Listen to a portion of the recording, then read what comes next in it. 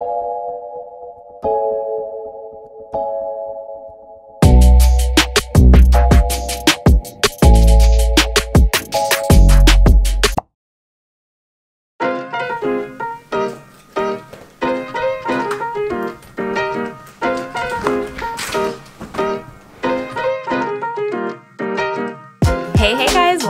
to my channel. My name is Keanna if you are new here and I am the Art of Funology. I am a fourth grade teacher teaching a lot of things and this week is conference week.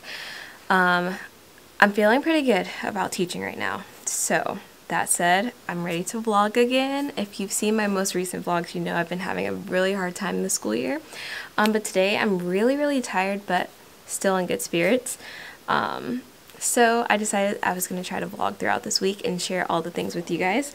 First, I'm going to share my outfit with you. Today is Teacher Jean Jacket Day. If you don't follow Lanisha at Apron with an Education over on Instagram, she has coined Teacher Jean Jacket Day because all of us teachers have a jean jacket.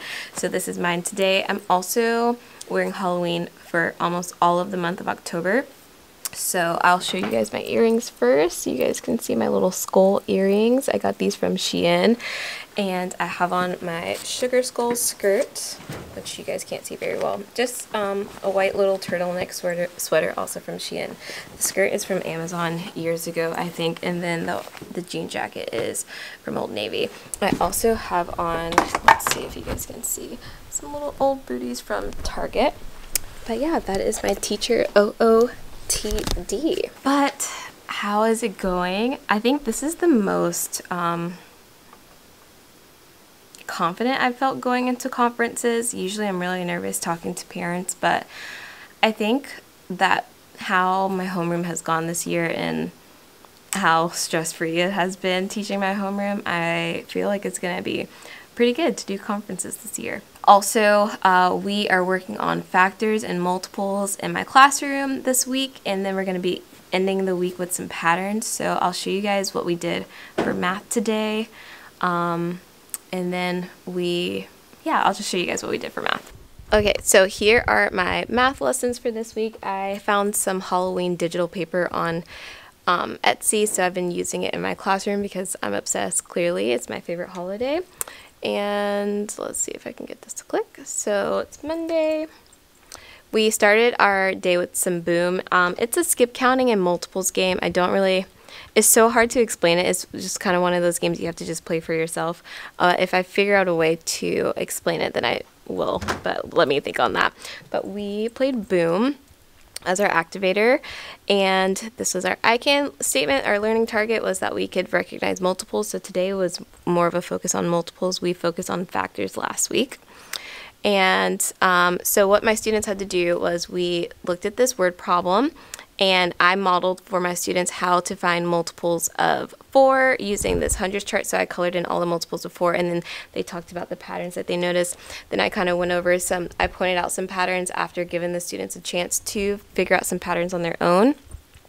Then we defined what a multiple was, put, the kids put it in their journal, and then they glued their own hundreds chart, and we worked together to solve this problem by finding multiples of 3 and then they completed this exit ticket. So they had to look at this set of numbers and figure out if these were all multiples of four, five, six, or 7. And that was pretty much it for our mini lesson. Then I gave my students a formative, and um, we also glued in, I'll show you what we did actually um, for the independent work. Okay, so I am a part of Brittany Hedges Mix and Math Academy, and so in the academy she gives us lots of different resources, and this one was what she gave us for prime and composite number, or sorry, for multiples. There's things for prime and composite as well. So there's different hundreds charts. There's actually six of them. Um, so my students like cut them in half and glued them in their journals. And then what they had to do for this one was find the multiples of two and color that in pink and then color the multiples of seven in orange and then talk about the patterns they noticed with the twos, the patterns they noticed with the sevens, and then what common um, multiples both of the factors shared. So my kids are working on that to practice their factors and their multiples. I've also been having a really hard time like finding the energy to make anchor charts. So I found these on Teachers Pay Teachers and they have everything I want because they show how to do the factor rainbows, but also make the factors with the T chart and um, talk about the prime and composite with models and then showing the multiples as well. And then also finding factors. These are just some helpful tips and tricks for the students to determine whether these numbers can be factors or not. So I added these to our wall, but you can see our wall is very naked because I purged all of the first quarter content. It's like for, except for this, I still have students finishing up some stuff from last quarter and that stuff's getting all laminated and then it'll be kind of archived. I'll put it on the board, but it'll be all stacked up so students can just flip through it to refer back to it later in the year. Today, my students also got their new class jobs. If I'm being completely honest, I have been dropping the ball with the class jobs because I just have been so busy. So my students got new seats. My homeroom students got new seats for the new quarter and they got their new jobs for the new quarter. Um, I also need to like replace all of the pencils in their pencil buckets because guys, there's just it's just a hot mess going on in there. I don't know if I've shown you everything that's in their table buckets. Hopefully I remember to do that throughout the week. I'll make a little note for myself tomorrow we have a super fun day planned. Uh, it's going to be a very food themed day. I think I'm going to have to probably tell you guys about it tomorrow. But basically, we're working on simple machines in science. So my students will be using different candy items to build simple machines. And then I decided to make a factors and multiples. Um, activity to go with it that was food related. So we're gonna factor the rainbow with Skittles, like kiss the rainbow, but factor the rainbow, and do some factoring and some multiplying, multiplying, multi that's weird that I don't know how to say that. With that, and it's going to be a fun day. So I'll probably give you guys some more details, but I got to go home and print out some pictures to set the theme. We're going to be having like a kitchen theme in the classroom. I have my chef's hat pulled out, and then my little chef's outfit back here is ready to go. So it's going to be a lot of fun, hopefully. But when my students don't know how to behave or control all of their energy during a room transformation, I always keep a backup activity on deck because at the end of the day, learning in this way is a privilege. At the end of the day, my job is just to teach. So all of these things are things that are privileges and if students can't handle it which sometimes happens it's important that we have a backup lesson for them to do. So for students that may not be able to handle it they're going to be um, still learning about simple machines but they're going to be completing some comprehension passages and questions. Hopefully none of my kids have to do that but i will have that prepared just in case because we always have to plan for the unexpected. Um, but let me go ahead i think and get out of here. It's getting really late so I wanted to vlog so much more today, but just with people in and out of the room and chatty and all of those things, it just didn't get to happen. But I will hopefully be able to vlog a little bit more tomorrow and share that with you guys. Hey guys, hey, happy Tuesday. Um, I'll go ahead and kick things off by showing you guys my outfit today.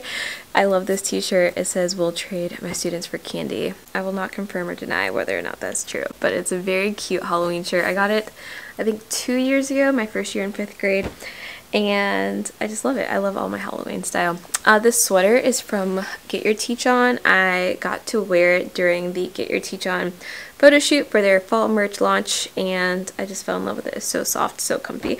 So I got it for myself. This skirt is from the Teacher Boutique Sharp RBC. It was gifted to me uh, last school year and I'm just wearing some white Vans even though it's after Labor Day. No one really cares about that anymore, right? My students said that today was the best day ever and it was not like not the best day ever for me. It was just incredibly exhausting. We did the Skittles activity which I'm gonna just honestly show you guys more details like tomorrow. Tomorrow's a digital day and hopefully I'll have a lot more energy. I say that now, but talking to parents during conferences takes so much out of you. So we'll see if I have the energy to share all of that tomorrow. But that is my hope, wish, and plan to be able to share all of those details and things like that with you guys. Oh, and then for science, the kids made simple machines. So my student teacher prepared these baggies, and the baggies had my props are showing. The baggies had Twizzlers, Lifesaver gummies, Oreos, Chips Ahoy, which most kids didn't use, orange wedge gummy candy, um, pretzels, and graham crackers. and they were able to come up with six different simple machines. So the incline plane, wedge, screw, pulley. What am I forgetting?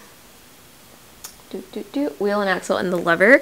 So I have some footage of that. So I'll go ahead and show you guys some of those pictures and some of um, like the videos from that because they had like the best time.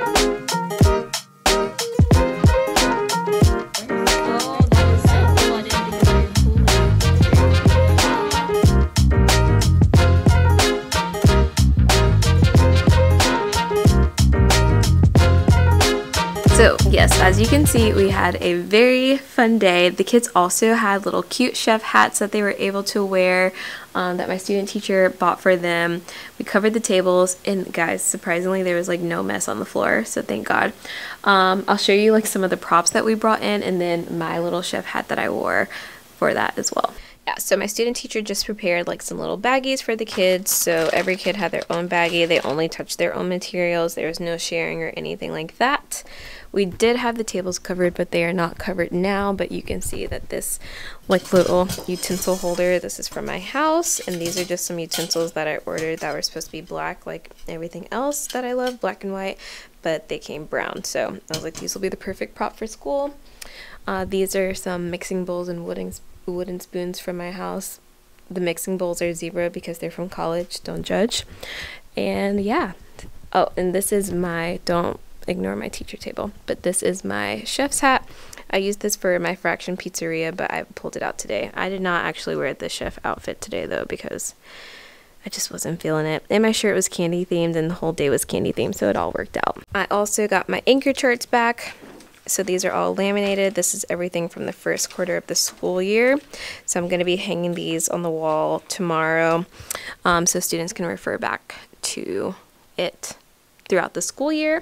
And then I also printed out these like mini anchor charts. I do like to make my own anchor charts for small groups. So like mini anchor charts that we can refer back to that I can pull right at my small group table because this is in the back of the class and my table is here. But for the sake of time, I already make these align to the standard with the class. So I printed out these like other ones from Teachers Pay Teachers, and I think I'm just going to put these on a book ring and have them, I went ahead and labeled them with the standard, and I'm going to just have these there to reference. So these will be like for intervention groups because these are all the standards that we've already taught. But then I also will have um, like new anchor charts for me to use when I'm pulling small groups so we can refer back to that. I have the current ones in my small group station for today, so that's why you guys don't see anything about multiples and factors because that's with all of my other small group materials for today. Luckily, no one had to use the alternative assignment today. Um, the day was a bit wild, but it wasn't out of control, wild, crazy. Um, my afternoons are definitely a lot more active than my mornings, but even still, everything was within the realm, and we only got a little bit of pretzels in the carpet, so that worked out pretty well. I can't believe this, but I am about to leave my teacher table like this, y'all. I'm just too tired. And most of the conferences are on Zoom. Oh, so let's kind of talk about conferences. I haven't shared like what I've prepared for conferences. Hopefully I'll be able to share that tomorrow. But all of our conferences are supposed to be on Zoom, and I teach two blocks. Um, I teach my homeroom and then another block. And most of all actually we've been encouraged to have our conferences in on zoom and that's just a lot easier for me. I think that's also easier for parents because they don't have to come in. A lot of the conferences are really quick and easy so that's just a lot of hassle for like a five to ten minute conversation.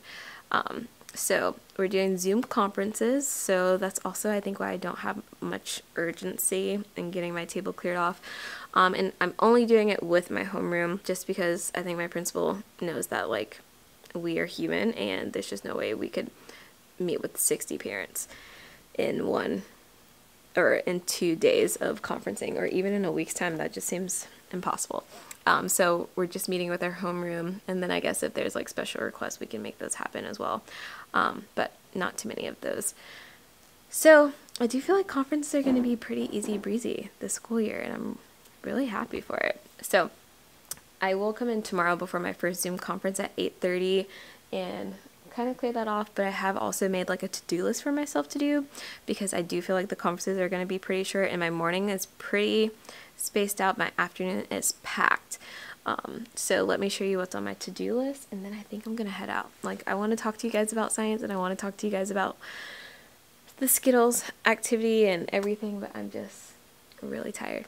But I did get to start some lesson plans for next week, and that means I'm moving back in the right direction. But let me show you guys. Alright, so this is what's on my to-do list for tomorrow. Students need new pencils. I think I talked about that yesterday. Submitting some scratch paper, preparing my centers and small groups for next week, filing all the papers from the first quarter, like just all the random extra copies that you have and master copies of everything that just becomes a big pile of junk. Um, giving feedback in student journals, um, planning my small groups for next week, mapping out who else I want to see for the remainder of this week, and then grading their formative to plan or to form my small groups for next week. So that is what we are doing. But yeah, that's all I got for you guys today. Like, we've done so much more, and I could go into so much further detail, but teacher tired. Hopefully, tomorrow I'll have a lot more energy to share with you guys. Tomorrow's all digital, and then Thursday's early release, and then I'll do conferences Thursday after like noon ish, and then Friday's a full day, and then this week's over. So, um, I do have so much to share with you guys this week. I'm finally getting my toes back into who I used to be as a teacher, and that's exciting. Um, and that makes me excited to share things as well. Now I just gotta get that energy piece back up so that everything will be. Is it focusing? I don't know if you guys can see my face or not. I really don't know if it's focusing, but I'm just trying to have a great um, remainder of the semester. So I'm hoping that second quarter is better than the first, and I think it starts with this. So, yeah, you guys have a great evening. I'm already after my cutoff time for the day, but bye. Hey guys, it is Thursday, October 21st, and it is our last day of parent-teacher conferences. I didn't really have time to record yesterday, um, but parent-teacher conferences have been like next level easy uh, this school year compared to years past. So this year we are still doing Zoom conferences and I think it's just the best. I hope it lasts forever. But yesterday the students had a digital learning day. Like it was a half day. It was still early release, but it was early release digital.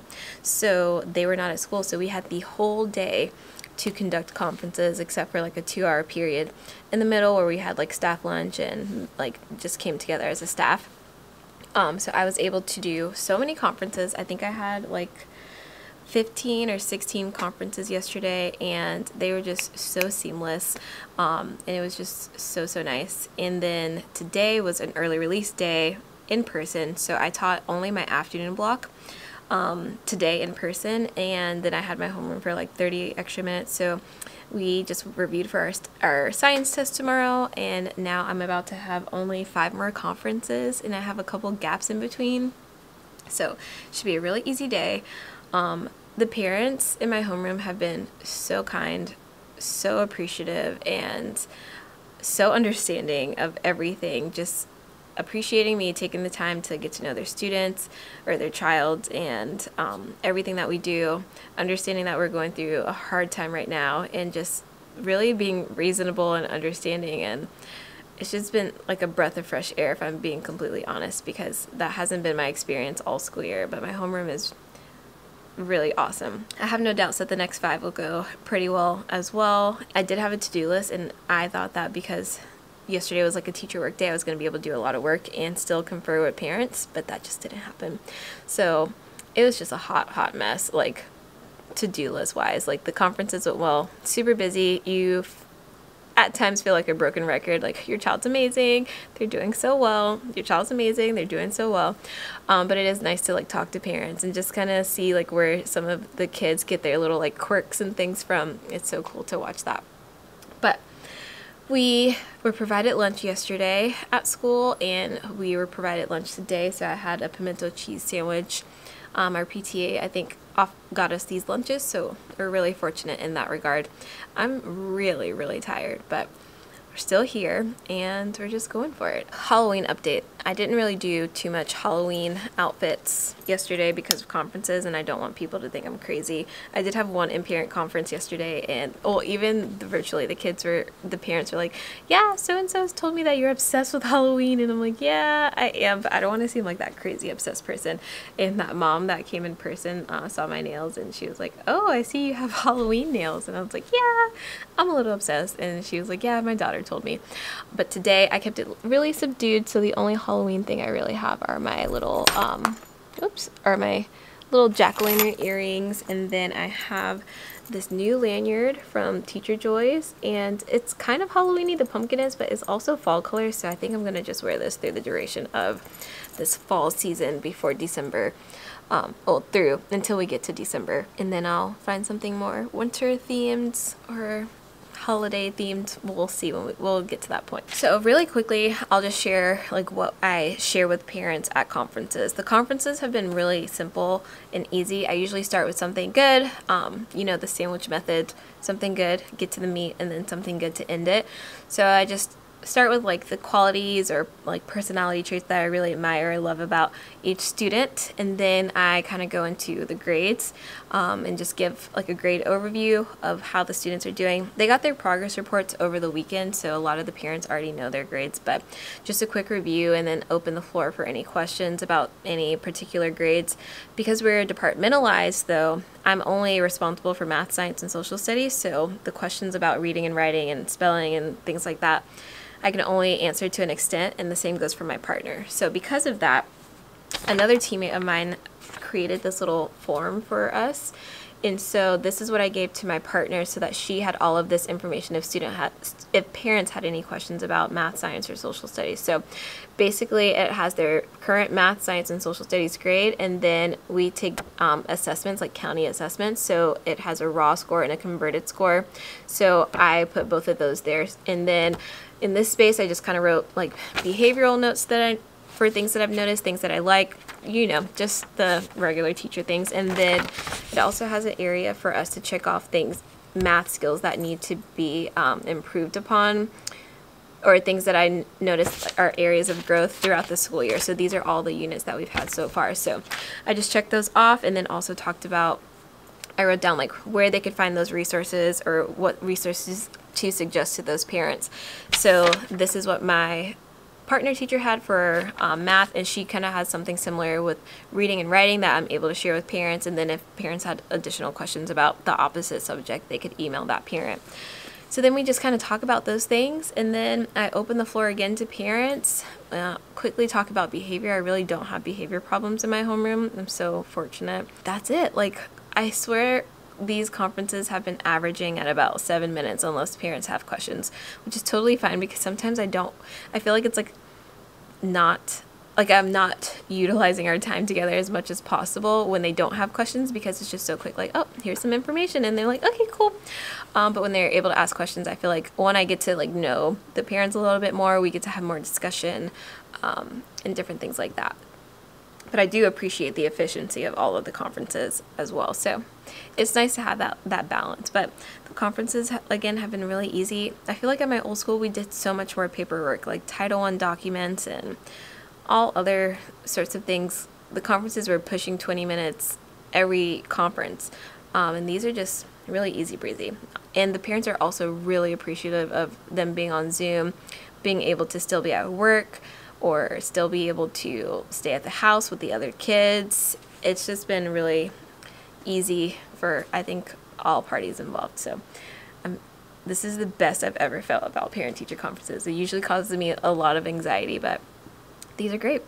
They're doing, these are, yeah, I like it. Lastly, for conferences, um, because I was able to get a lot of conferences done yesterday, today is early release day, and typically I would like start scheduling conferences like as soon as the kids leave until like five or six in the afternoon. But I was able to cushion myself because like it's so hard like on those early release days to get them on the bus with a funky dismissal feed yourself and use the restroom before that first parent comes and then you're like busy back to back so i didn't even start my conferences until 2 o'clock today and i'll be done by 4 p.m today so it gave me some wiggle room to just kind of breathe and ease into the afternoon. And um, yeah so now I have about 25 more minutes until my conferences begin. And like I said I have a couple periods in between. So I'm going to try to just kind of tidy up around here and get ready for tomorrow. I also wanted to show you guys a quick preview of what I had the students do for the digital learning day um, yesterday and then the students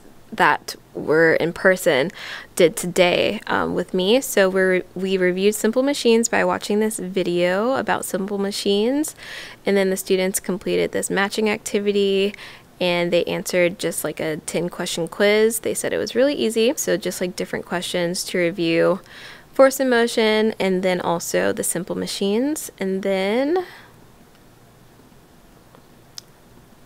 we reviewed our study guide. And so one of my teammates made this, and then we just uh, did a quizzes. The kids did so well on it. And then for math, I used a lesson from the Nearpod library. And we are starting the math standard, the Common Core standard for OA5, which is analyzing patterns and understanding shape patterns, number patterns, using input output table, all sorts of things. So this is the lesson that we did today and they had to first make their own pattern just to kind of this was like their activator and then we talked about understanding how we can apply numbers to shapes for patterns. So they had to pick three of these shapes and draw it themselves and then create a pattern. And then we had to figure out what the 12th shape was.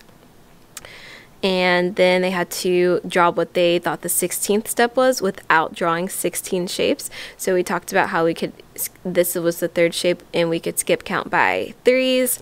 And once we got to 15, we would know that one more than 15 would be the first shape of the second, of the next sequence. So that would be the circle.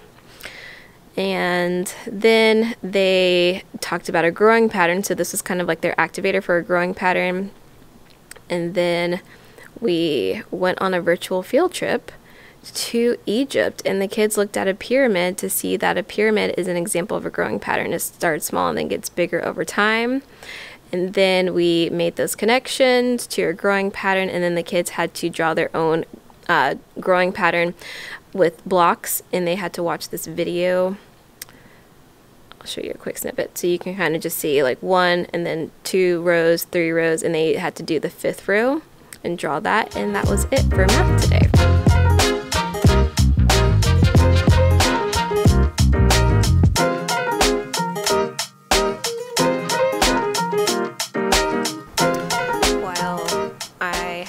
In between conferences, I went ahead and did my flat lay of a product that I'm going to be putting in my TPT store for factors and multiples.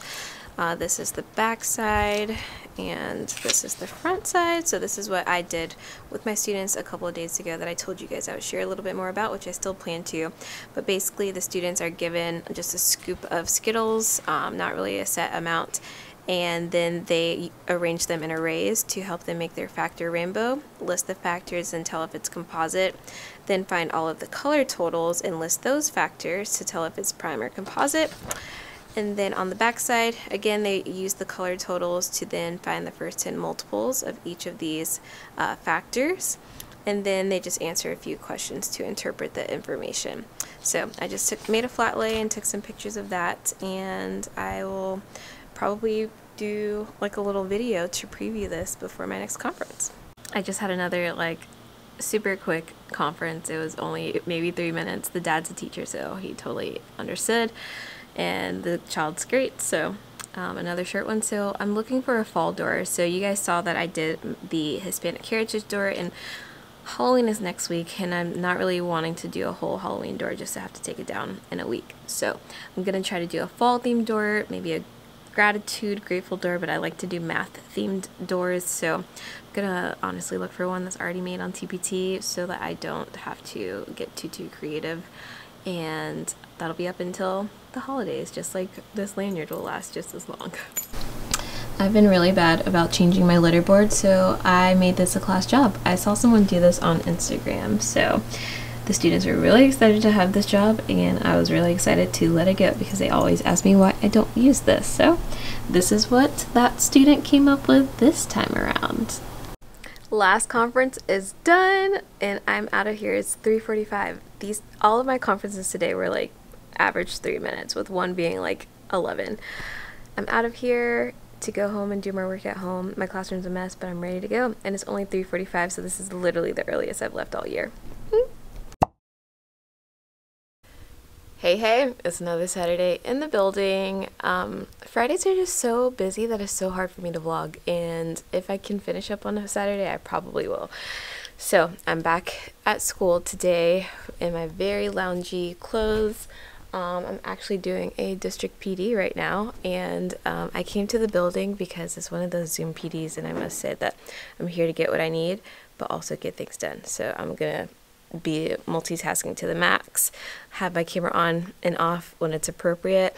And right now, I'm about to actually use some formative data that we did on Friday to make small groups for the coming week for my OA5 for OA5 patterns um, standard. So I can just make sure my groups are like hitting each of their needs based off of what they don't know. Um, and that's what they're talking about here. It's just using formatives to make small groups. Uh, I definitely don't think I know everything, but I do feel like I have a good understanding of that. So I'm just kind of here to see if there's any new updates that I need to know or new tricks that I need to try or anything like that.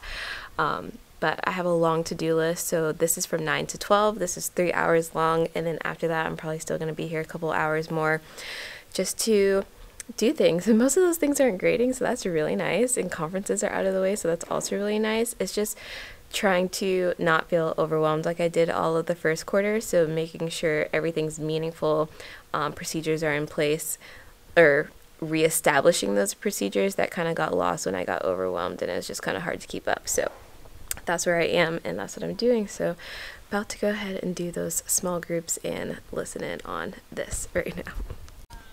Here is my small group binder. You can see it's kind of bursting at the seams right now. I wanted one of the flex binders because it allows me to like flip it backwards and take my notes. But I have um, different sample problems for each AKS. The colors are like different skills that match, or I said AKS, that is my district.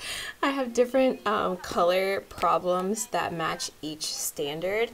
And these are just uh, different skills that they need for the standard. So this is what we have for my small groups. Um, most recently for the input-output tables, actually, I was supposed to change that. That is not what the standard is. It's OA5, I believe. Um, but yeah, I have things for like my division small groups and my multiplicative comparison small groups and all sorts of other things like that. This is my small group planner. One day I'll do a whole video about how I do small groups um, because you may want to see that. But what my goal is, you see they're just kind of bursting at the seams right now. I also have little anchor charts that I keep in here, so when I need to like pull students, I have something to refer to back at the table. But um, I am going to have all of my materials in these folders, and these little plastic folders can be clipped into these binder rings, and then I can just label it like Division OA6, I mean, excuse me, NBT 6 multiplicative comparison, um, OA1 or whatever, and have all of these just in my folder because I'm doing so much reteaching this from first quarter. I pretty much needed like one of these for all of the first quarter standards for my intervention groups in the mornings and then during dismissal when I'm having to reteach and things like that. I also have like a blank check, not checkbook, a blank grade book printed out. I would show you the front side, but there's student names. It's empty though, like there's no grades. You can kind of see it's just empty blanks.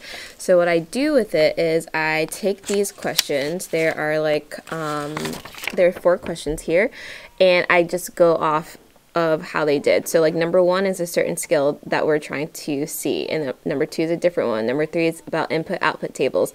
Number four is about identifying the rules. So then I check those off. So if they couldn't get number one, I'm going to pull all the students that couldn't get number one not necessarily work on this because I want this to then be a post check after my small groups, um, but give them problems similar to that to work on that skill. And then if they're not good with input output tables, then I'm pulling an input output table group. If they're not good with identifying the rule, I'm grabbing a group that's not strong with identifying the rule based off of what they got correct or what they didn't correct, get correct on this pre check then they're going to get this formative back and hopefully we can see some growth and if I don't then I know that I need to pull them again for intervention a little bit later.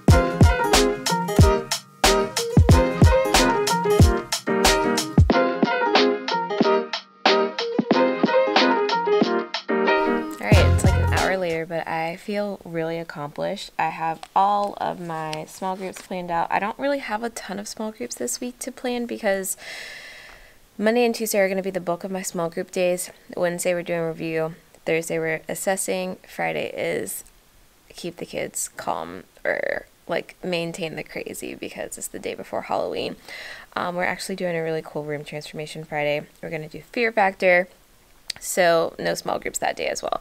Um, but what I've done is um, I have them, I think I told you it's like color coded based off of skills. So, this is my extension group in problems. They're going to be working on two part input output tables or two part rules, two operation rules. I feel like I'm not explaining that well.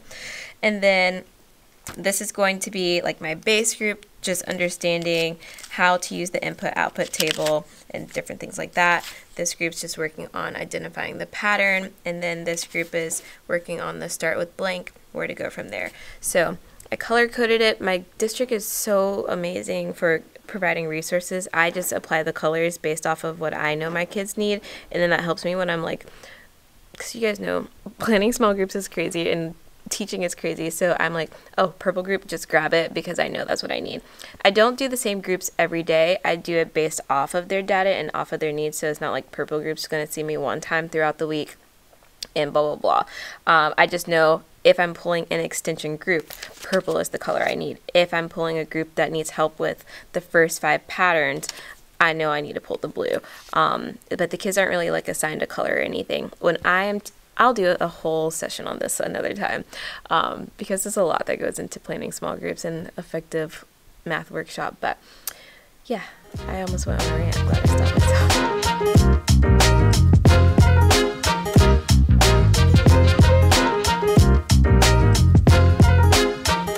Alright, so session's over. I have my small groups done, but I needed to plan like my must do's and may do's for the week. So I put those on the board. Uh, my maydos are just going to be finishing up things from this crazy conference week. And then my must do's, um, I'm not sure, I'm sure actually everyone has heard of Common Core Sheets. It's a free website where you can get a lot of free um, just like drills and practice sheets for different standards. And I took two different Common Core sheets, and it's a lot of problems. Like, typically, like one sheet could take forever. So, what I do is I just kind of do like a half sheet thing where I put two Common Core sheets together like so. And one day they'll do the top half the other day they'll do the bottom half just so they're getting that practice but it's not taking them so long that they're not able to do other things during their independent work time that I need them to do. So I'll just I'm gonna go make some copies of that and then I have all of that done. I emailed parents about some extra supports that they asked for during conferences and now I'm going to I don't know what I'm to do. I'm to make copies and I'll see what comes next.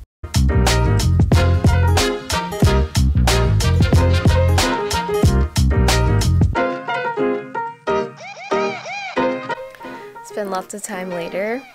All my things should be ready for next week. I think everything I need is ready for next week. So the only thing that's not ready is just this mess of a table and my mess of a stage. So I plan to go ahead and clear that out before I leave and I'm hoping to leave in like 25 minutes. Hopefully I can get out of here in 25 minutes. That's the goal. So I'm gonna clean and then hopefully that'll be a wrap to this week.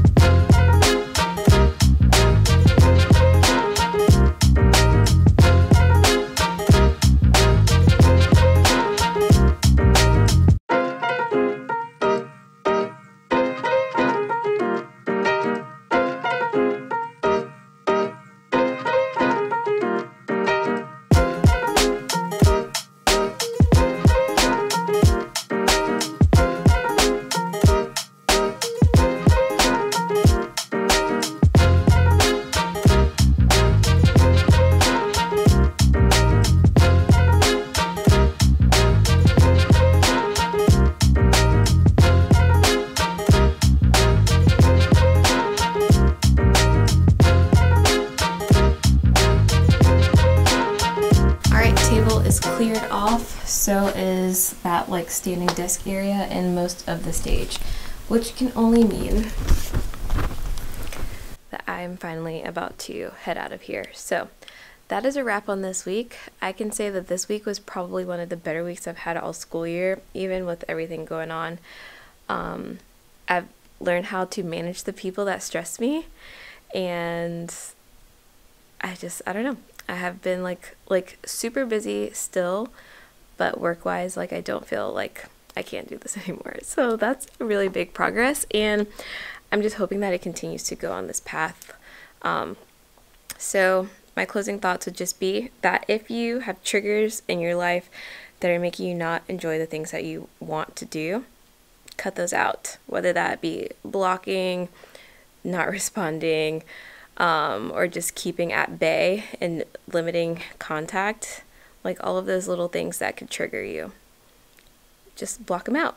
That's my my parting my parting thoughts for this video and I'm looking forward to next week. It's going to be such a fun week. Halloween is my favorite holiday, so I just know we're going to have the best, best week. Um, I may vlog it or I may only vlog Friday. I haven't really decided yet, but I'm really excited. I hope you guys have a great week, weekend, whenever you see this, and I'll see you guys next time. Bye.